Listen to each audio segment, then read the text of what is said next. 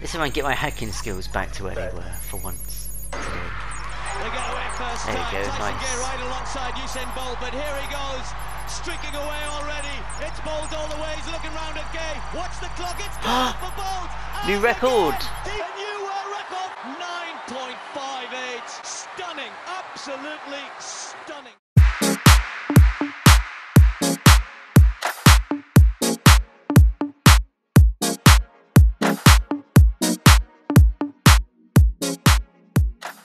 In a recent livestream, I managed to achieve a new personal best by hacking two fingerprints in a casino heist in GTA Online within 10 seconds. And in this video, I'm going to show you how I managed to do it. My first piece of advice is practice, practice, practice. I've completed these hacks hundreds and hundreds of times, and the only way that you're going to get good at it is through repetition and learning from your mistakes. Now there are four different fingerprints that you need to hack, each with four different segments. You'll need to memorize all 16. However, this will make it a little easier when I show you what to look for with each fingerprint. I've got to the point now where I don't look at the fingerprint on the right, I just seek out one recognized segment and then I'm able to fill in the blanks from there. Now let's take a look at fingerprint 1. This one is quite easy as the segments you need are all quite different from the others. There is this one with the distinctive small sausage on the right, this one with the small triangular shapes pointing upwards, this one with a chunk missing out of the top right hand corner, this one looks quite generic but luckily none of the other segments look like this. So these are the four you need to memorise for fingerprint 1.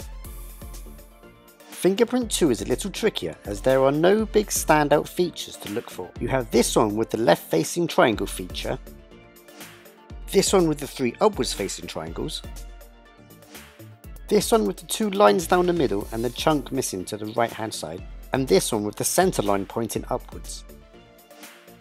So these are the four that you need for fingerprint 2. Fingerprint 3 is much easier as it has four segments that are quite distinctive. There is this wavy piece which only takes up about half of the square, this segment pointing to the left with the centerpiece missing, this segment with the two dots on the left hand side, and this one with the large triangular features pointing upwards. So for fingerprint 3 you need to memorise these four. And for number 4 it's also a little bit easier. You have the upwards facing triangular shapes, there's this one with the simple vertical wavy lines, and these two which are near mirror images of each other. And for the fourth fingerprint, it's these four that you would need to memorize. My last piece of advice would be to invest in a hacking device in your arcade for you to practice on as practice makes perfect.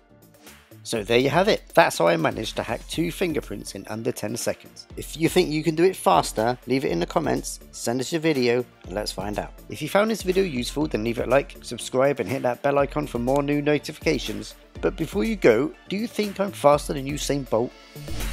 This time I get my hacking skills back to where they were for once. They get away first There you time. go, nice.